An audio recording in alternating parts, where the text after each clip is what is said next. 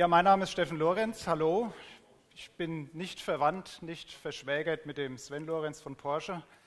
Ich komme von der Software AG und möchte Ihnen das Projekt vorstellen, was wir gemeinsam mit und bei Roll Dirk Zwager in den Niederlanden realisiert haben. Der Andy van Stein, der eigentlich heute dabei sein wollte, ist leider terminlich verhindert. Hat den Vorteil für Sie, dass wir die Präsentation auf Deutsch hören können und nicht auf Niederländisch.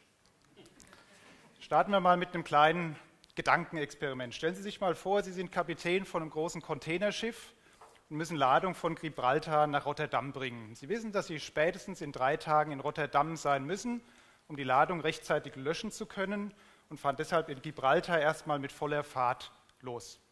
Sie fahren dann Richtung Rotterdam und kurz vor dem Hafen von Rotterdam bekommen Sie mitgeteilt, der Hafen ist leider voll, es gibt keine Ankerplätze, Sie müssen vor der Hafeneinfahrt auf Rede gehen und müssen zehn Stunden warten, bis die nächste Flut kommt und sie in den Hafen einfahren können.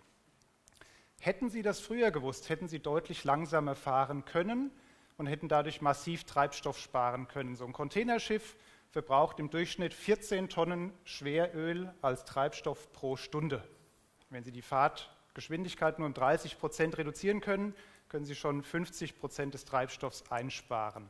Sie sehen also, mit diesen Informationen hätten Sie massiv Kosten für den Transport sparen können und hätten damit auch massiv die Umwelt entlasten können, denn jede Tonne Schweröl, die verbrannt wird, entspricht drei Tonnen Kohlendioxid, was in die Atmosphäre entlassen wird.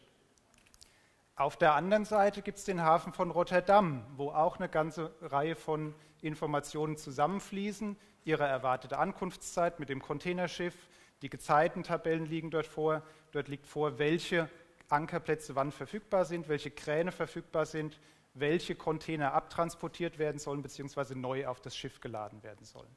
Also auch hier müssen eine ganze Menge von Informationen verarbeitet werden, damit es zu einem reibungslosen Ablauf im Hafen kommen kann.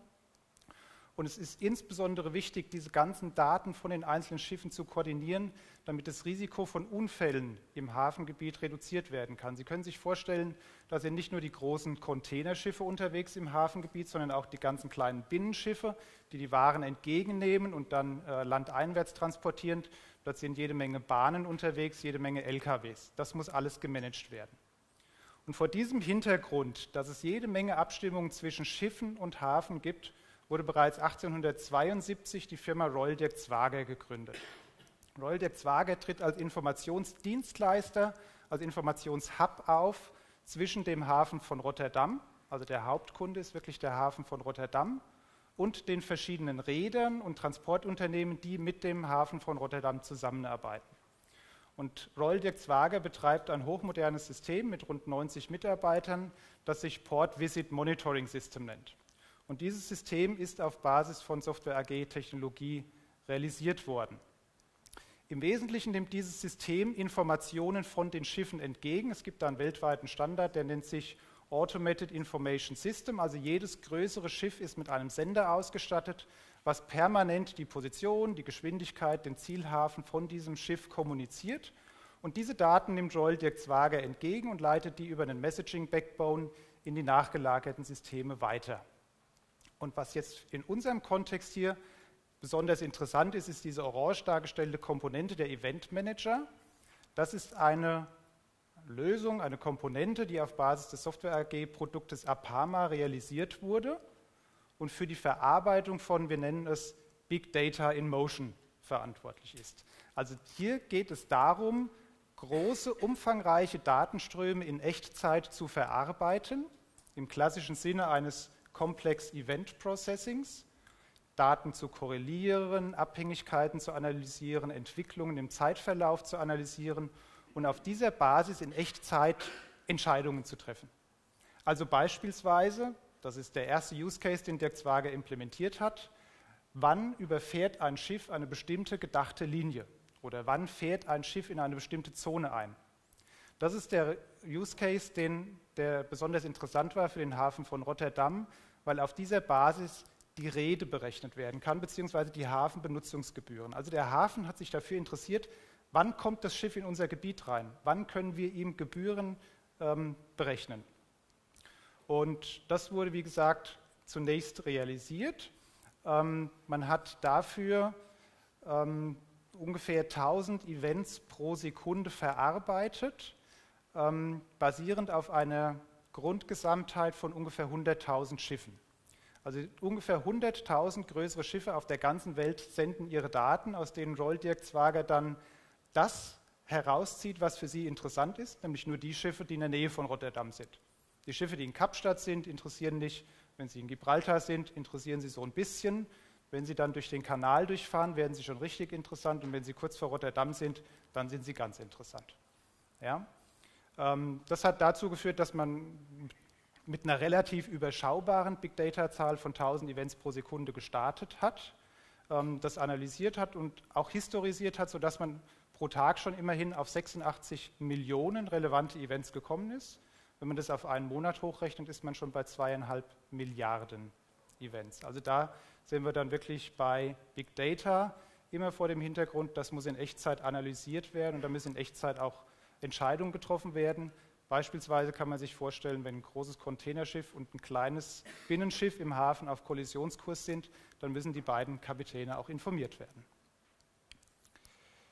Die Realisierung von dem Projekt hat eine ganze Weile gedauert, muss man ehrlich sagen. Also das ging nicht von heute auf morgen. Dirk Zwager hat sich Anfang 2009 erstmals mit der Thematik konfrontiert gesehen, dass es nicht mehr ausreicht, mit einem klassischen BI-Ansatz Daten zu sammeln und auszuwerten, sondern dass man das in Echtzeit machen muss. Einfach aufgrund der Tatsache, dass BI ganz viele können und man konkurrenzfähig bleiben muss und auf einer Echtzeitbasis gehen muss. Man hat dann der IT den Auftrag gegeben, sich mit dem Thema Complex Event Processing als eine Möglichkeit der Lösung zu beschäftigen. Das hat die IT dann über eine ganze Zeit lang getan. Parallel dazu hat man in der Unternehmensführung überlegt, wenn man so etwas macht, was bedeutet das? Welche Services kann man anbieten? Was kann man den Kunden anbieten? Was bedeutet das für das Unternehmen? Und man war dann 2011 so weit, dass man gesagt hat, okay, wir als Unternehmen, Royal Dirk Zwager, wollen diesen Weg gehen, wollen dieses Angebot unseren Kunden machen. Und man hat dann die Entscheidung getroffen, man setzt dieses Projekt um, man beschafft eine entsprechende Softwareplattform, auf der das Ganze realisiert werden kann. Man trainiert die eigenen Mitarbeiter, weil es eben ein ausgesprochener Wunsch war, das Ganze selber realisieren zu können, nicht fertig eine Lösung aus der Box zu kaufen, sondern das selber aufzubauen, das Know-how zu haben, auch später Änderungen machen zu können. Einfach weil man das als Differenzierungsfaktor im Markt gesehen hat. Und man hat es dann realisiert, eben bis Mitte 2013 das Projekt dann in Produktion genommen werden konnte. Seitdem läuft es also bei Dirk Zwager, knapp ein Jahr jetzt. Und das System wird immer weiterentwickelt, in dem Sinne, dass man neue Use Cases ähm, dazu implementiert, dass man an den bisherigen Regeln, die in dieser Complex Event Processing Plattform realisiert sind, nachschleift und die, die Regeln verändert und das System so immer weiter optimiert. Die Vorteile von dem System kann man einmal intern, einmal extern sehen. Intern war es für Royal Dirk Zwager überhaupt wichtig, so ein aktives Monitoring zu haben, also genau diesen Echtzeitansatz fahren zu können weil man das eben als ganz entscheidend gesehen hat, um im Markt erstmal wettbewerbsfähig zu bleiben, um nicht verdrängt zu werden, aber auch als eine Möglichkeit, um am Markt ähm, neue Potenziale zu erschließen, zu expandieren, indem man beispielsweise neue Dienstleistungen anbietet, um den Umsatz zu erhöhen, ähm, beispielsweise Auswertungen, ob Schiffe, ob äh, Fischerboote unerlaubt in, in, Gebiete von Windfarmen einfahren oder ob Fischerboote in Fischgründen äh, operieren, wo sie eigentlich nicht hinfahren dürften, wo eben die Fische geschützt sind. Ja? Genauso überlegt Dirk Zwager jetzt noch diesen Service für andere Häfen anzubieten, weil es eben in Rotterdam so gut funktioniert.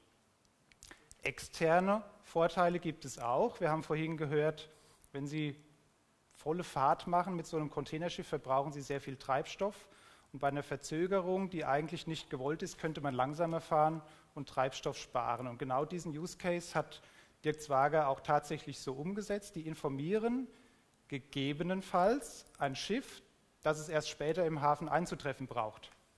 Das heißt, durchschnittlich würden die dann dem Kapitän vier Stunden vor Ankunft im Hafen Bescheid geben. Du kannst langsamer fahren, es ist kein Ankerplatz vorhanden ähm, und dadurch kann der Kapitän Treibstoff sparen. Im Schnitt 4000 Euro Einsparung für Treibstoff und Redegebühren pro Schiff. Zum Schluss noch ein kurzer Blick auf die Erfolgsfaktoren. Es sind die typischen Faktoren, die man immer wieder sieht in den Projekten. Aber für mich ist wichtig zu sagen, ähm, Dirk Zwager hat es genauso implementiert und es bestätigt diese Erfolgsfaktoren, ähm, für, für die Projekte. Genau, vielen Dank.